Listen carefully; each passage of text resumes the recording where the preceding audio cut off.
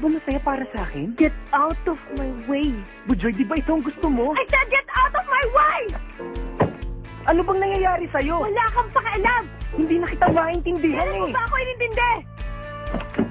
Ricky, Ikaw ba ang babae ng mister ko? Oo. Hiwalayan mo na siya.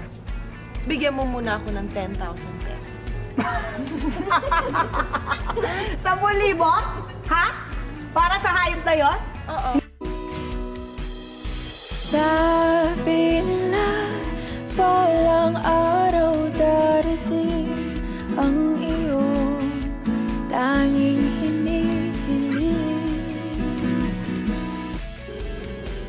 Mabubuhay ang anak mo, mabubuhay.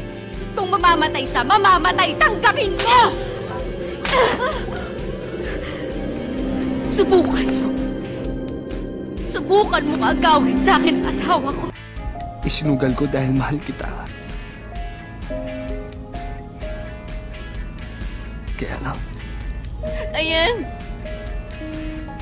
Diyan tayo sumasablay bugsi. Sa kaya lang. Ano pang gusto mo itawag sa akin, ha? Kabit? Desperada? Querida? Magnanakaw ng asawa? Ahat? Higad? Bakit? Nabago ba ng lahat ng masasakit na salitang yon ang katotohanan na ako na ang mahal ni Victor at hindi ikaw? Kaya etong sasabihin ko sa'yo, makinig ka! Di ba tinanong mo ako kung bakit hindi pwede maging tayo? Dahil yun sa'yo, Luna. Dahil sa mga pinagagagawa mo. Kasi ikaw, Santo. Kasi ikaw, superhero, ha? Hindi ka makagawa ng mali. Sorry, ha? Hindi ko maabot na standards mo sobrang taas.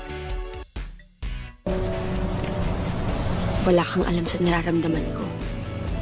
So don't give comments about my personal life because I don't give comments about yours. Ano na naman yung kapalit? Ilang taon na naman ang buhay ko yung sasayangin ko. Hihila kita pa ba, Charge? Ako na, kumitin ka. Charge, I'm sorry. Yung mga lalaki, nagagalit sila kapag ang tagal-tagal magbihis ng mga babae. Oo. Pero kapag hindi naman kami nag-ayos, titingin naman kayo sa iba. Ikaw ba ang babae ng mister ko? Oo. Hiwalayan mo na siya. Bigyan mo muna ako ng 10,000 pesos. Sampu libo? Ha? Para sa hayop na yon? Oo. Kailangan ba i-report ko sa'yo lahat ng ginagawa ko? Ay, sorry, Chet. Kasi ako lang naman ang asawa mo. At saka nanay ako ng anak mo. Sorry kung nagtatanong ako ng mga bagay-bagay sa buhay mo. Huwag mo rin pagsasabi na supot pa ako, ha?